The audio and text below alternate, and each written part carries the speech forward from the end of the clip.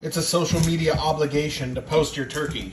And today is Tuesday, and that is a turkey stuffed. How's your pajamas? Good, it's the same ones I was wearing in the last video.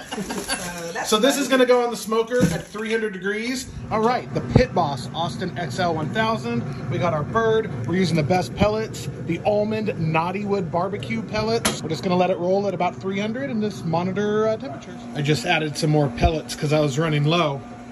Awesome stuff. Mm, coming along. Still got a long way to go, but we've been running at 300 for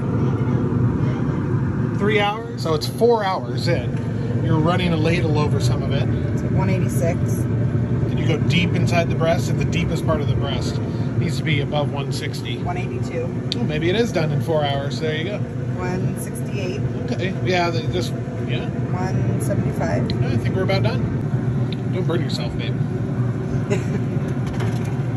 Is this going to be the best turkey ever? I think it's going to be the best Four turkey hours ever. over KnottyWood pellets. Mm-hmm. And now, now we're shutting it off and just letting it rest. I never claimed that I knew how to carve a turkey, but that's the white meat and the dark meat. Pretty good yield out of that. Super, super juicy.